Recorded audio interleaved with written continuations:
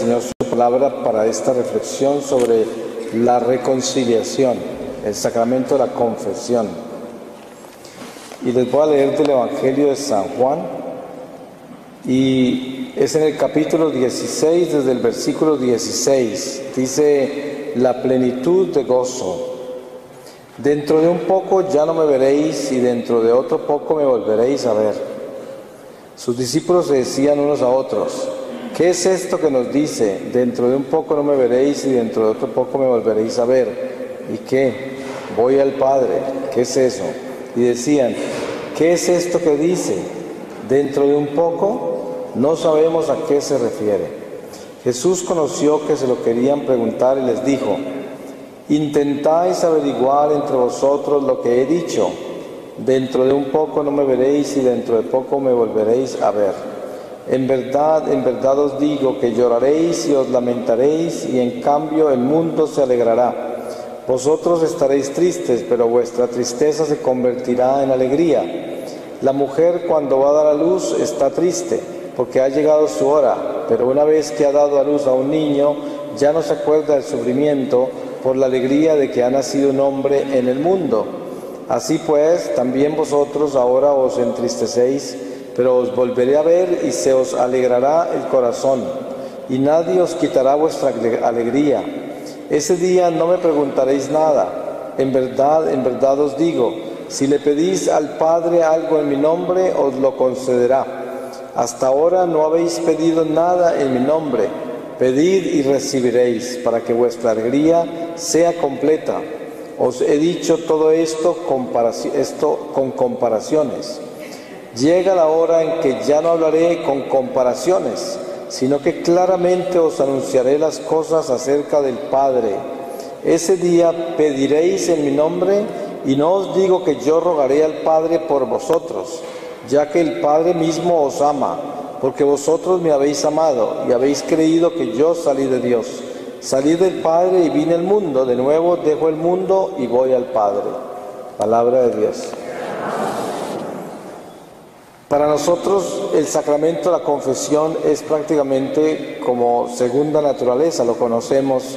Muchísimos de nosotros aquí. Seguramente somos católicos de cuna, que llaman, otros habrán entrado a la fe más adelante, pero de todas maneras al ser católico, una de las compenetraciones más inminentes de nuestra fe, en la cual nos reconocemos como tal, es ese sacramento de la confesión, eh, del cual el mundo se burla y ridiculiza, porque les parece absurdo que uno tenga que utilizar al intermediario para llegar a Dios.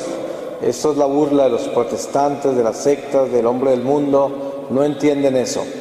Pero nosotros no comprometemos la fe con charlatanerías, ni con filosofías, ni con ideologías, ni con otros conceptos religiosos cristianos, ni con la visión que tiene la gente de Dios, sino que nosotros estamos en obediencia a un sacramento que instituyó Jesucristo, que es nuestro Señor y es Dios, y así lo reconocemos.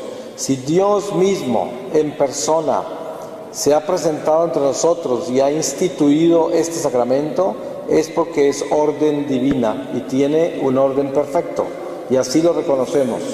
Por eso el primer paso que damos nosotros a la desobediencia como católicos es enfriar el sacramento de la confesión. ¿Y por qué es eso? Porque como nosotros somos instrumentos eucarísticos, para que nosotros podamos mantener este instrumento en orden, que es el templo de Dios donde Él habitará en forma extraordinaria a través de la Eucaristía, tenemos que mantener constantemente el corazón blando, un corazón contrito, arrepentido, humillado.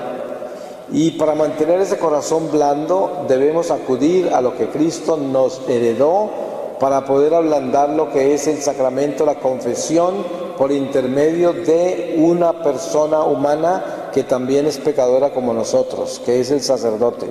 Esta es la prueba más grande de nuestra fe con relación a la soberbia y el orgullo humano que nos acompaña por la caída del pecado original que nos hizo imperfectos en el amor.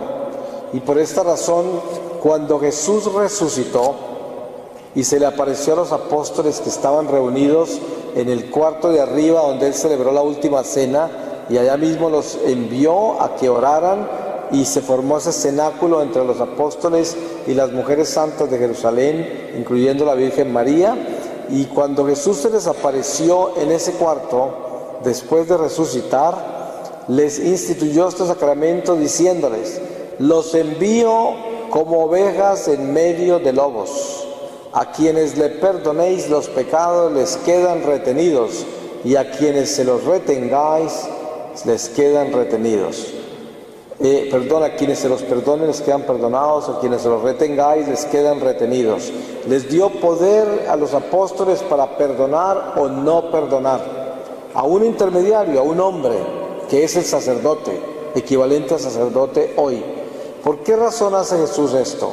Pongámonos a pensar, según los protestantes, nosotros no necesitamos ese sacramento, pero ellos claman de que ellos hacen todo de acuerdo a la palabra de Dios. Con eso solo se dan cuenta ustedes de las mentiras que están predicando, porque si predicaran la verdad y se, se, estuvieran regidos por el Evangelio como está escrito, ¿por qué razón ignoran un sacramento que instituyó el mismo Jesús? Miren que nosotros, por naturaleza caída del pecado original, nos llenamos de orgullo con el pecado. El pecado nos hace orgullosos.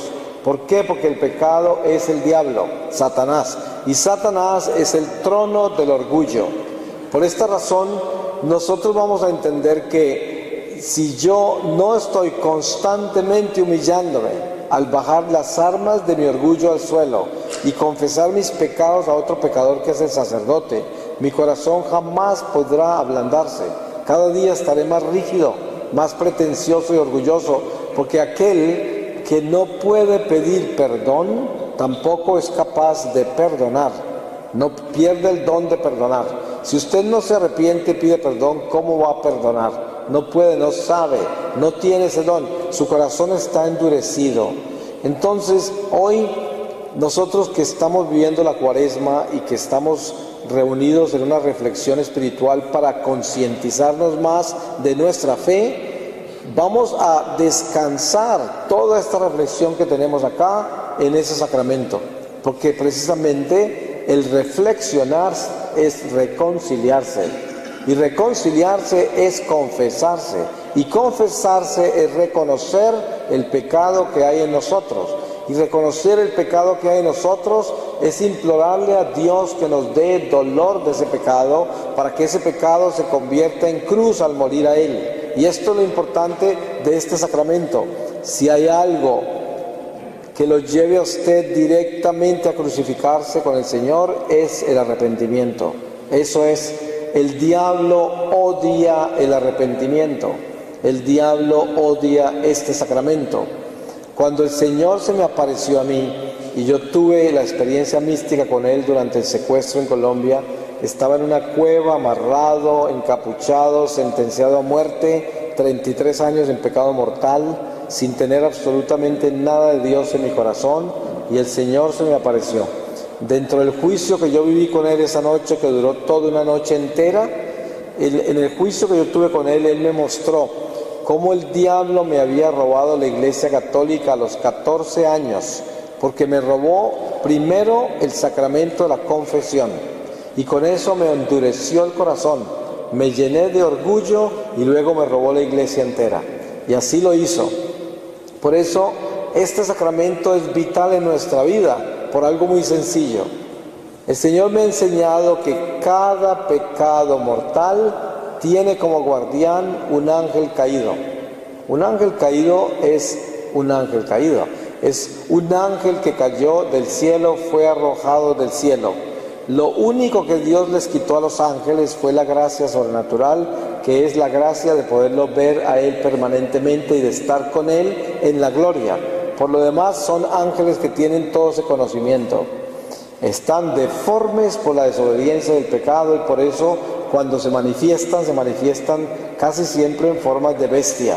Aunque cuando actúan en medio de nosotros, actúan como seductores y por lo tanto no nos van a asustar con formas bestiales, sino que se, manifiestan a través de formas seductoras y utilizan al ser humano para eso.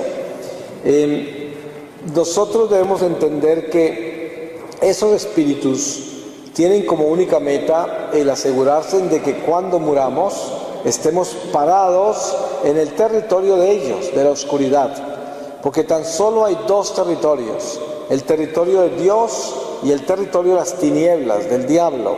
No hay nada en la mitad. Ahorita no podemos ver esos dos territorios porque somos ciegos al mundo espiritual. Pero en el momento en que morimos, quedamos al descubierto porque estamos en la plenitud del mundo espiritual y quedaremos parados en el territorio por donde caminábamos. Por eso es que yo, cuando le hablo a la gente que anda por ahí viviendo mal, les digo, miren, el, estar en la iglesia no nos hace buenos. Si usted no está en gracia con Dios, y usted no está reconciliado, confesado, arrepentido, si usted se muere, aunque se muera dentro de la iglesia, usted no queda parado en el territorio de Dios. Usted queda parado en el territorio del pecado en que estaba, porque usted es un prisionero, un prisionero. Miren que en una oportunidad estaba yo en una iglesia en una ciudad de Colombia que se llama Medellín. Esta ciudad es muy peculiar porque Ustedes han visto que en la gran mayoría de las iglesias católicas en el mundo entero, la mayoría son mujeres. Sí, es muy común eso. Uno cuenta cabezas, cuente aquí nomás en este momento y son mayoría mujeres. Y así es. Yo siempre digo, ¿dónde se quedaron los hombres? Pero en esa ciudad particularmente hay mayoría de hombres en la iglesia, cosa que es tan rara. ¿Cómo sería que yo le contesto a un cardenal en Roma una vez y él me dijo, yo quiero la prueba de eso. Y, una, hice una filmación para eso y a través de una monja amiga mía italiana se la mandé. Y él quedó aterrado de que era verdad, que eso existía. Pero lo que sucedió ese día en esa iglesia es que yo llevaba más o menos unos dos años de misionero, tal vez un poco menos. Y estaba en esa iglesia que se llama La Candelaria. Es una iglesia donde hay misas cada hora y es una iglesia llena de gente todo el día, desde muy temprano en la mañana hasta por la noche, no sé a qué horas. Y hay confesiones todo el día. Es extraordinario. Em, yo estaba ahí en una misa, estaba muy llena esa misa, yo estaba casi, casi que en el atrio. Y de pronto, estando así en un momento de la, Eucaristía, que no me acuerdo exactamente cuál era, em, sentí unos ruidos, unas cosas que eran muy familiares para mí de mi experiencia del infierno. Así era. Porque cuando yo tuve la experiencia del infierno, reconocí una cantidad de cosas que se me quedaron y a veces me las recuerdan algunos estados de la vida temporal en personas o en situaciones por donde yo estoy. Y cuando yo, estaba con los ojos cerrados y sentí todo un ambiente como infernal, pero estaba en la iglesia. Entonces yo dije, ¿qué será? Seguramente pensé que era como una memoria de, lo que me pasó eh, años atrás, porque esto había sucedido en el 97, estaba muy adelante ya de ese año, varios años adelante. Cuando miro, entraba una señora que estaba caminando así, iba buscando lugar. Resulta que esa señora, yo pude ver perfectamente que estaba totalmente atada a un demonio. Y el demonio entró con ella a la iglesia. Ella estaba con él. Y además que ese demonio tenía una serie de espíritus que estaban alineados con él. Y donde, donde esa señora se sentó, se llenó como de un humo, había como un humo alrededor de ella. Y ese humo corría desde la banca donde estaba hasta la puerta así por donde entró. Por todo el lado donde entró pasaba como ese humo hasta donde estaba sentada. Y yo no entendía bien, yo dije, ¿cómo puede entrar el diablo a la iglesia? ¿Cómo pueden entrar estos espíritus a la iglesia? Si este es el templo del Señor. Y entonces el Señor me mostró una imagen que era un prisionero que está siendo transportado de la cárcel a otro lugar y lo llevan en un avión y está con esposas, pues esposada al carcelero, al guardián que lo lleva. Y va entre gente que está libre. La gente en el avión no son prisioneros, están libres y este es el único preso. Él está preso a pesar de estar afuera, pero está prisionero porque lo llevan para otro lugar, lo llevan para la cárcel y está atado al guardián que lo lleva, atado a unas esposas. Pues eso fue la imagen que yo recibí del Señor y me mostró cómo la gente que vive en pecado mortal son prisioneros, están encadenados y cuando vienen a la iglesia vienen con sus guardianes y los guardianes las acompañan a todas partes y el día que mueren quedan parados en el territorio del pecado, ahí quedan parados. Entonces, eso para mí fue una experiencia muy difícil. Em, la señora cuando salió, que venía así por el frente mío, como yo había vivido tanto la experiencia de ella, cuando ella pasó, la señora me miró con un odio que ustedes no se lo pueden soñar de lo horrible que fue eso. Un odio increíble me miró sin conocerme. Solamente que el espíritu del mal que la acompañaba me estaba mirando a través de ella y me odiaba completamente. Y yo estuve orando por ella durante toda esa misa, el resto de la misa, y después de eso seguí orando por ella. Dios quiera que se haya liberado. No sé en qué pecado se encontraría, pero les cuento una cosa. No hay diferencia entre ningún pecado mortal. Es pecado mortal mentir con plena intención, pleno conocimiento y actuar en esa mentira. Es pecado mortal robar. Y robar haciéndole daño a los demás es pecado mortal. Es pecado mortal un acto de impureza sexual consciente y calculado todo. Es pecado mortal un acto de envidia, que está uno consciente de que uno no debe desearle el mal a nadie, ni, ni querer que el otro no alcance el triunfo que está alcanzando o las ventajas de la vida que está recibiendo. Es, pecado mortal desear las cosas del prójimo y desearlas con pasión. todo esto es pecado mortal. Y cada uno de esos pecados, eh, usar el nombre de Dios en vano para tomar ventajas naturales, no honrar a Dios en su día, que es el domingo, no honrarlo a Él, es pecado mortal. Todo esto tiene demonio y quedamos atados a Él, completamente atados a Él. Y si nos morimos quedamos parados en el territorio del mal, no en la luz. Por eso el sacramento de la confesión es el regalo más extraordinario que Dios nos haya podido dejar. No hay nada igual. Jesús le dio a Pedro las llaves del cielo. Pedro representa en esa en esa en esa en ese momento, en esa entrega representa a la iglesia entera le entregó las llaves y le dio poder para atar y desatar. Y todo lo que él desata o ata en la tierra queda atado o desatado en el cielo. Y entonces, si yo estoy en pecado mortal, como yo viví 33 años en pecado mortal, si yo estoy en pecado mortal y llego a la iglesia a confesarme, pues lo primero que el diablo va a hacer conmigo es tratar de que no venga. Segundo, si logro venir, tratar de que se me olvide todo. Y si, logro confesar, tratar de guardar algunos pecados por vergüenza al sacerdote, por respeto humano, y después me hace llegar a comulgar con todas las cosas que ya sabía, que no quise confesar por temor, y entonces acabé de dañar todavía más las cosas, porque eso es toda la batalla espiritual en que me encuentro para poder reconciliarme con Dios. Pero si yo logro hacer una confesión sincera, profunda, arrepentido, y lo hago verdaderamente queriendo entrar en una amistad sincera con Dios, en ese momento quedo desencadenado del mal. El demonio tiene que irse, porque la iglesia se lo ordena. Y él solo le obedece a la iglesia, nada más, a nadie más le obedece. No hay posibilidad alguna de que un demonio le obedezca a alguien que no sea la iglesia. No le obedece, porque nadie tiene esa autoridad. O sea que mis pecados solo serán perdonados por el sacramento de la reconciliación. Y usted se preguntará, ¿y entonces qué pasa con todo el resto de la humanidad que no tiene ese sacramento?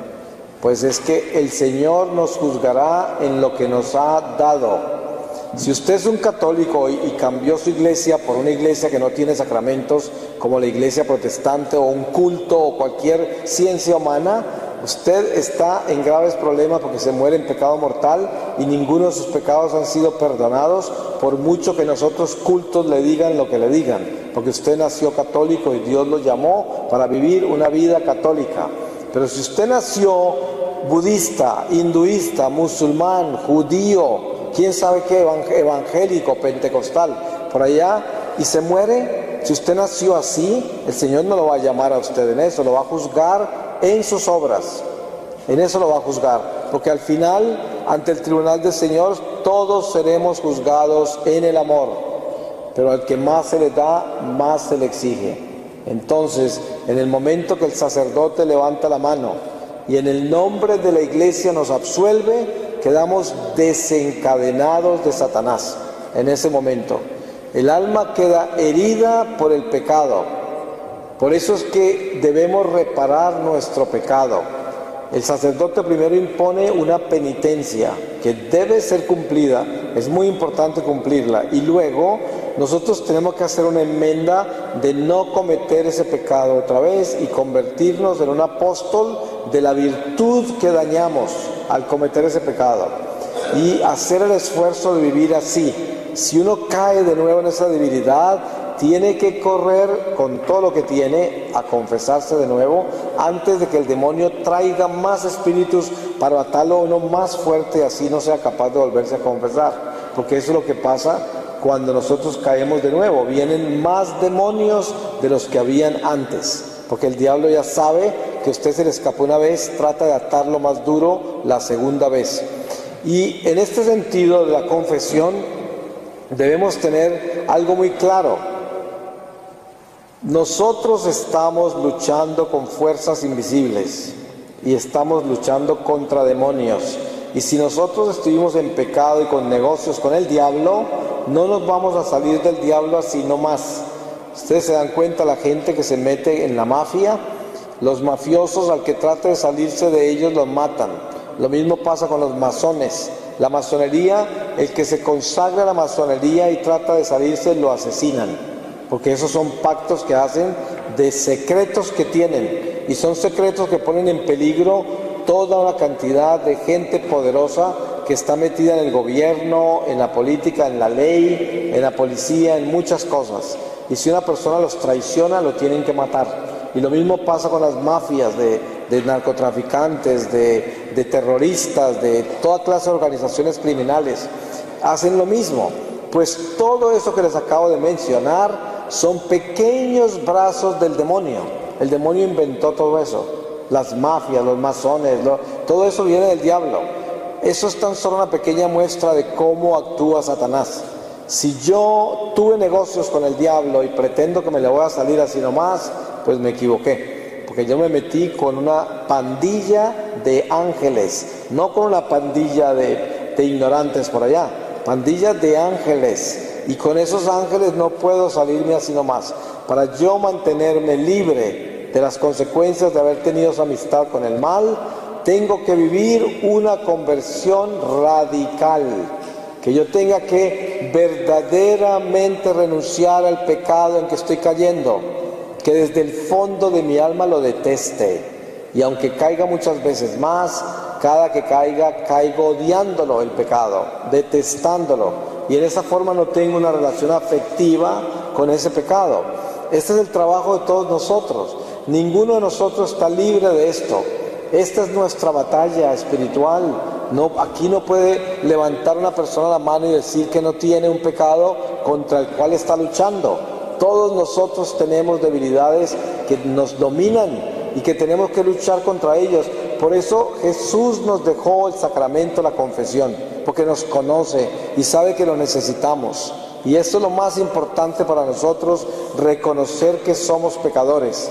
Y entonces la confesión podríamos decir que es prácticamente como un exorcismo, es como una liberación. Y una cosa muy importante para descubrir en esto es el instrumento humano. Cuando Jesús envió a los apóstoles la primera vez, entre ellos iba Judas Iscariote. Y cuando todos regresaron a Jesús, estaban asombrados de las maravillas que habían hecho en el nombre de Jesús. Judas Iscariote había podido liberar posesos, sanar enfermos, había podido hasta resucitar muertos, que fue lo que hicieron todos los demás también. Y era un traidor. ¿Y por qué razón suceden estas cosas? Porque es que Dios siempre es fiel, aunque el instrumento sea infiel. Por eso cuando usted se vaya a confesar con un sacerdote, no se preocupe de pensar si ese sacerdote está en paz con Dios o no. Ese sacerdote puede estar en los pecados más horribles y su unción sacerdotal en el nombre de la iglesia nos liberará. Este es el ejemplo que le pongo paralelo. Si a usted lo envía a la cárcel un juez, y ese juez puede ser un juez corrupto, espantoso, pero ese juez tiene el poder para encarcelarlo a usted. Ese mismo juez es el que tiene el poder para sacarlo a usted de la cárcel. Y el, y el juez puede ser la corrupción más horrible, pero le dieron ese poder.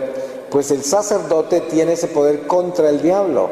Y muchas veces esos sacerdotes le pertenecen al diablo que viven en pecado. Sin embargo, cuando ejercen las funciones del ministerio de la iglesia, le tiene que obedecer el diablo e irse, a pesar de que el que está ordenando es un hijo del diablo por el pecado en que está. Estas son cosas extraordinarias que nos damos cuenta nosotros que solo pueden existir con el poder de Dios. Pero es muy delicado la convalecencia del pecado. Cuando nosotros no nos confesamos con frecuencia y de repente decidimos confesarnos, pues la batalla espiritual que ocurre en un momento de esos es muy grande y los espíritus del mal van a buscar todas las vías para tumbarnos de nuevo y van a tratar de tumbarnos más duro todavía para podernos hacer hundir más y hacernos sentir más indiferentes, más fríos, más alejados de Dios en cada caída. Y si nosotros tomamos el misterio de la reconciliación como un misterio divino, porque los sacramentos tienen origen divino, porque son orden celestial, están instituidos por Dios, la Eucaristía fue presentada a nosotros e instituida por el mismo Jesucristo con sus propias manos. El sacramento de la confesión Jesús mismo lo instituyó.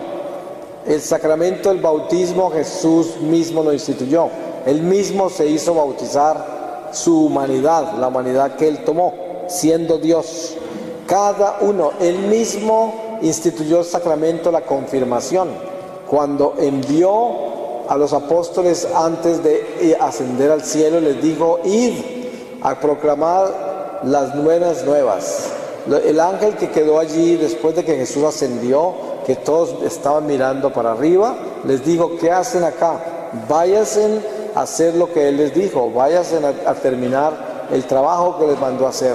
Y esto es lo que tenemos que entender, que Jesús instituyó todos los sacramentos, instituyó el sacramento del matrimonio.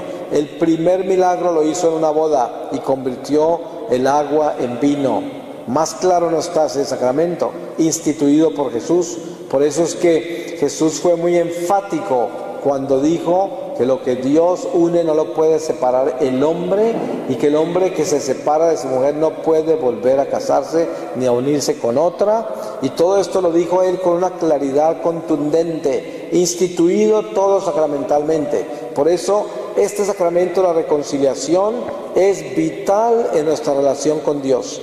Si nosotros supiéramos el poder tan grande que hay detrás del sacramento de la confesión, nos confesaríamos con muchísima frecuencia, porque mantendríamos nuestra alma liviana, nos mantendríamos libres de espíritus. Miren que los espíritus están por acá en el aire siempre, porque aquí vivimos con ellos. A ellos también nos desterraron al mismo lugar donde estamos nosotros. Esta es como una prisión, la vida terrenal. Ustedes saben que paralelamente dándolo como ejemplo, en una prisión terrenal donde hay sentenciados a vida y sentenciados a tiempo que no es vida, tiempo a, sentencias temporales, eh, los que están sentenciados a vida que nunca van a salir, odian a los presos que van a salir. Y lo que quieren hacer es que esos presos que tienen salida en unos pocos años, o que van a salir de todas maneras en algún momento, que esos presos cometan un crimen por el cual los sentencien a vida también. Eso es lo que desean estos prisioneros que están sentenciados a vida porque envidian y odian a los presos que van a salir. Pues eso es exactamente lo que estamos viviendo nosotros. Aquí en medio de nosotros están los espíritus condenados eternamente. Nunca saldrán de esta prisión, jamás. Y estamos nosotros que podemos salir de acá si le obedecemos a Dios, si recibimos lo que Dios nos dio para salvarnos. Pero entonces estos demonios quieren que nosotros cometamos estos crímenes y estos pecados mortales para que quedemos sentenciados eternamente acá y nunca podamos salir. Y ese es el trabajo de ellos. Y Jesús baja, desciende y nos da a nosotros el arma para mantenernos libres de ellos, para que el día que Él nos llame podamos estar en paz y podamos salir de acá. Eso es nada menos que el sacramento la confesión. Por eso es tan importante mantener ese sacramento.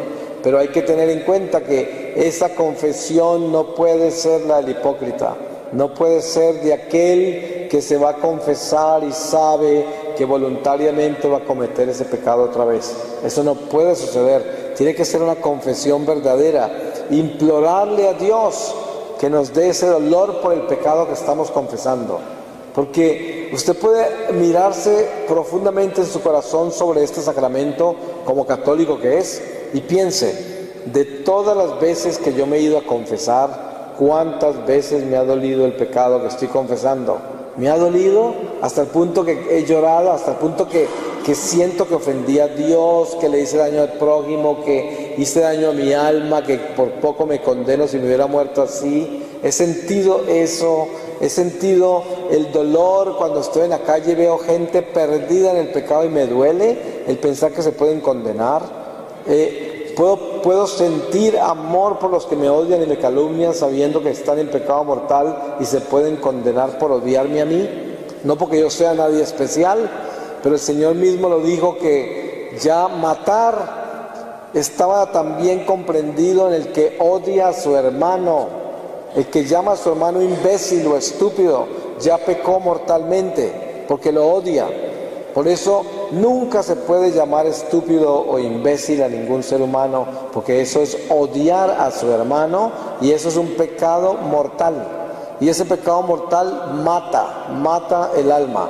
Por eso todas estas cosas las debemos tener nosotros muy claras, para que tengamos una conciencia de lo que es el pecado y también la conciencia de la necesidad de reconciliarnos con el Señor permanentemente, que estemos en este ejercicio espiritual para que nuestra alma aprenda a ser humilde. Entre más se confiesa usted, sintiendo el dolor de sus pecados, más humilde es. Porque cuando usted confiesa sus pecados, lo primero que usted consigue es compasión, caridad, paciencia, tolerancia. Uno de los dones más maravillosos del sacramento de la confesión es aprender a escuchar. Ese es uno de los dones que da la confesión. Ustedes se dan cuenta que la mayoría de los seres humanos solo saben hablar, no saben escuchar. Casi todo el mundo que viene a hablar con usted lo que quieren es contarle, pero no quieren escucharlo. No, siempre tienen mucho que decirle, pero muy poco que escuchar. Todo el mundo quiere decir, todo el mundo quiere hablar, pocos quieren escuchar, no tienen tiempo no hay tiempo para escuchar. Entonces, este es el sentido verdadero de la reconciliación. Tener, para reconciliarnos con Dios, primero tenemos que reconciliar nuestros corazones los unos con los otros. Porque el que tenga en su corazón una sola persona que no haya perdonado, nunca podrá ver a Dios. Jamás podrá ver a Dios. Porque si usted no perdona, Dios no lo perdonará. Y esto lo tiene que tener muy en claro. Nadie podrá entrar al reino de Dios si no ha perdonado, porque está vacío de Dios. Nunca Dios estará en su corazón si usted no ha perdonado a todo el mundo, si no ha perdonado. Y miren cómo es el perdón. ¿Cuántas veces nosotros tenemos este instinto selectivo? ¿Cómo seleccionamos personas, seres humanos? Y hemos crecido despreciando ciertos seres humanos. Hay personas que no les gusta la gente de piel negra, hay otros que no les gusta la gente de piel blanca, hay otros que no les gustan los asiáticos, a otros no les gustan los pelirrojos, a otros no les gustan los pericrespos, los pelidestos, los estos, los de la nariz acá, los que se visten así, los que hablan así, los que son de esta cultura, los que son de esta nacionalidad, o los que son de esta orientación política, o los que son de esta orientación religiosa, o lo, yo no sé, tenemos un espíritu selectivo y solamente hay grupos que nos apetecen y aceptamos, los demás los rechazamos. Eso es precisamente no estar reconciliado con la humanidad. Nosotros tenemos que perdonarnos los unos a los otros, reconciliarnos. Nadie puede estar dividido, porque si está dividido, ¿cómo va a entrar a la unidad? La unidad es la entrada al reino de Dios donde todos somos sencillamente hijos de Dios, una familia humana en la cual no hay discriminación, no hay diferencia entre blanco y negro, entre judío y musulmán. entre ateo y entre hebreo. No hay absolutamente nada. Todos somos lo mismo. Y, por eso desde hoy yo debo hacer el ejercicio espiritual de la reconciliación antes de ir a confesarme en el, en confesionario, antes de ir al sacramento. Si usted se para en este templo a mirar a todos así como lo estoy mirando yo, usted podría decir que no tiene absolutamente ninguna diferencia con ninguna persona acá, porque sin importar quiénes son, qué es lo que representan, qué, cómo actúan, qué piensan, usted los quiere igual, los acepta a todos. No le va a dar más atención a este porque es más rico o más importante. No le va a creer más a este porque es más inteligente. No, no va a aceptar a este porque es más bonito o porque se viste mejor o porque es una persona que me beneficia a mí personalmente en las cosas que me da o una persona que me puede traer beneficios en el futuro. Y quién sabe cuántas otras elecciones. Si usted puede pararse y estar seguro de que tiene un amor igual para todos, entonces usted está reconciliado. Eso es reconciliación. Si usted puede caminar por la calle y no sentir diferencias en su corazón con ninguna persona, a raíz de raza, a raíz de cualquier situación o circunstancia humana. Si usted puede hacer eso, está reconciliado. De lo contrario, tiene que empezar a descubrir la reconciliación antes de que se vaya a confesar, porque si no, ¿de qué se está confesando? Si usted ni siquiera conoce el pecado, no lo conoce bien. Hay personas que no saben que es un pecado mortal. Y dice, mire, el pecado mortal primero se encuentran los diez mandamientos, cada uno que se rompe es un pecado mortal. El Señor nos dio los siete pecados capitales para que dentro de esos siete capitales descubramos cuál es el veneno que daña todas las virtudes de los diez mandamientos. Y esto está muy claro en el catecismo, muy explicado, desmenuzado, para, para saber cuál pecado es mortal. Para cometer un pecado mortal se necesitan tres condiciones. Pleno conocimiento, plena intención, acción. Uno tiene que conocer, tener eso. Nadie se va al infierno por cometer un pecado que no sabía que era pecado. Pero al mismo tiempo hay personas que son ignorantes. ¿Qué es ignorante? Ignorante es el que sabiendo la verdad la ignora. Ese es un ignorante. El otro es un inocente. Pero les aseguro que hay muy pocos inocentes en este mundo. Muy pocos. Los inocentes de este mundo generalmente son niños o son personas especiales. Los demás simplemente son ignorantes, porque conociendo la verdad no la obedecen. Eso es ignorancia. Y el que ignorantemente peca, ignorantemente se condena. Eso no hay escapatoria. El único que no se condenaría por una falta grave es un inocente. Así de que en ese, pensando en ese contexto, debemos entender de que ninguno de nosotros acá podemos ser inocentes, porque nosotros hemos recibido la Eucaristía, nada menos, el pan de vida. Esa Eucaristía tiene toda la sabiduría, todo el conocimiento, todo. Por eso es que Santa Teresa de Ávila vio en el infierno personas muy jóvenes, prácticamente como niños. Eh, normalmente cuando un alma se condena no tiene edad, no se podría distinguir la edad. En el cielo, los espíritus de Dios en el cielo, en la gloria, no tienen edad. Son eternamente jóvenes, pero uno no podría decir parece que tuvieran 15 años, no. Simplemente tienen una belleza que jamás se puede comparar con ninguna belleza que, que hayamos visto. Una juventud que no se puede comparar con lo que nosotros conocemos como juventud. Porque todo lo que conocemos nosotros es imperfecto. Una persona joven eh, en un cuerpo mortal está imperfectamente joven, porque si estuviera perfectamente joven no envejecería. Y por eso es que dentro del contexto de las cosas espirituales no existe la edad. Pero santos, yo tuve una experiencia en el infierno, pero yo vi los espíritus todos iguales, deformes, de acuerdo al pecado. Santa Teresa de Ávila, como era una santa, y a ella la llevó su ángel guardián al infierno, Santa Teresa vio como en el infierno habían jóvenes, o sea, como niños. Pero estos niños que ella vio, obviamente eran niños que ya conocían el pecado. Y para poder caer al infierno tienen que caer habiendo cometido pecados con las tres condiciones, de lo contrario nunca podrían ser condenados. La iglesia se preocupa de que un niño que recibe la primera comunión es porque ya tiene un conocimiento pleno del pecado. Es más, no le dan la primera comunión sino que se confiesa. Y para que un niño se confiese tiene que saber qué es lo que va a confesar, tiene que saber que ha pecado. Y ahí le dan la comunión. Porque, ¿Cuál es la responsabilidad? Que a partir de ese momento esa persona ya no es un inocente. Esa persona se convirtió en un miembro activo de la responsabilidad consciente de la iglesia. Y ya es un militante. El día que lo confirman, lo envían, la iglesia lo envía, porque esos primeros años entre la primera comunión y la confirmación son una preparación y un alimento para el fortalecimiento del alma y, y fortalecimiento de la estructura, la doctrina, la fe, y luego ya es un misionero, ya lo envían para que en todo momento, en todo lugar, esté presentando la luz en este mundo de tinieblas. Entonces vamos a concluir por decir que la reconciliación es una liberación. Nosotros perdemos la gracia del bautismo cada vez que caemos en pecado mortal, porque quedamos en todas las deudas del pasado, de las cuales habíamos sido exorcizados en el bautismo.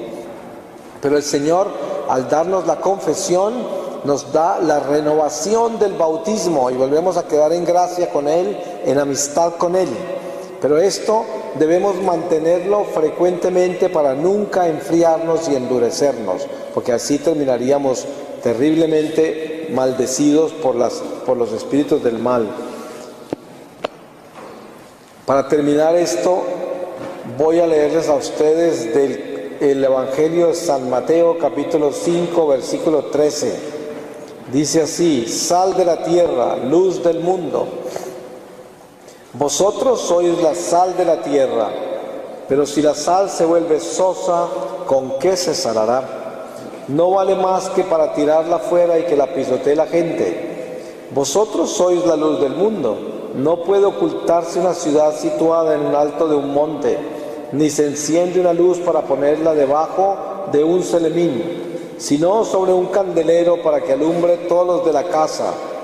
Alumbre así vuestra luz ante los hombres para que vean vuestras buenas obras y glorifiquen a vuestro Padre que está en los cielos. No penséis que he venido a abolir la ley o los profetas. No he venido a abolirlos, sino a darles su plenitud. En verdad os digo que mientras no pasen el cielo y la tierra, de la ley no pasará ni la más pequeña letra o trazo hasta que todo se cumpla. Así, el que quebrante un solo de estos mandamientos, incluso de los más pequeños, y enseña a los hombres a hacer lo mismo, será el más pequeño en el reino de los cielos. Por el contrario, el que los cumpla y enseñe, ese será grande en el reino de los cielos. Os digo pues que si vuestra justicia no es mayor que la de los escribas y fariseos, no entraréis en el reino de los cielos. Habéis oído que se dijo a los antiguos, no matarás y el que mate será reo de juicio. Pero yo os digo, todo el que se llene de ira contra su hermano será reo de juicio, y el que insulte a su hermano será reo ante el, ante el Sanedrín, y el que le maldiga será reo del fuego del infierno. Por lo tanto, si al llevar tu ofrenda al altar recuerdas que tu hermano tiene algo contra ti, deja allí tu ofrenda delante del altar vete primero a reconciliarte con tu hermano y vuelve después para presentar tu ofrenda. Ponte de acuerdo cuanto antes con tu adversario mientras vas de camino con él. No sea que tu adversario te entregue al juez y el juez al alguacil y te metan en la cárcel. Te aseguro que no saldrás de allí hasta que restituyes la última moneda. Habéis oído que se dijo no cometerás adulterio. Pero yo os digo que todo el que mira a una mujer deseándola ya ha cometido adulterio en su corazón. Si tu ojo derecho te escandaliza, arráncatelo y tíralo, porque más te vale que se pierda uno de tus miembros que no que todo tu cuerpo sea arrojado al infierno. Y si tu mano derecha te escandaliza, córtala y arrójala lejos de ti, porque más te vale que se pierda uno de tus miembros que no que todo tu cuerpo acabe en el infierno. Se dijo también, cualquiera que repudia a su mujer, que le dé el líbelo de repudio. Pero yo os digo que todo el que repudia a su mujer, excepto en el caso de fornicación, la expone a cometer adulterio, y el que se casa con la repudiada comete adulterio. También hoy has oído decir que dijo en los antiguos, no jurarás en vano, sino que cumplirás los juramentos que le has hecho al Señor. Pero yo os digo, no juréis de ningún modo, ni por el cielo, porque es el trono de Dios, ni por la tierra, porque es el estrado de sus pies, ni por Jerusalén, porque es la ciudad del gran rey. Tampoco juréis por tu cabeza, porque no puedes volver blanco o negro, ni un solo cabello. Que vuestro modo de hablar sea sí, sí o no, no. Lo que exceda de esto viene del maligno. Palabra de Dios. Le damos gracias al Señor por iluminarnos, por darnos ese sentido profundo de la fe, por guiarnos para que en esta cuaresma nos podamos confesar bien y podamos descubrir cuál es nuestro pecado, qué es el pecado realmente, qué es el arrepentimiento y si entendemos bien qué es lo que estamos haciendo con nuestra vida con relación a la reconciliación, si estamos reconciliados realmente, si vivimos en paz, si tenemos en el corazón la paz que Dios da a aquel que perdona y pide perdón. Pues le doy gracias al Señor por haberme permitido estar con ustedes en este retiro. Me continúo unido a todos ustedes durante el resto de nuestras vidas. Esperamos que nos encontremos en la gloria de Dios un día y si el Señor tiene a bien traerme de nuevo a compartir con ustedes, lo haré con mucha alegría y por entre tanto pues terminamos ya estas reflexiones del día.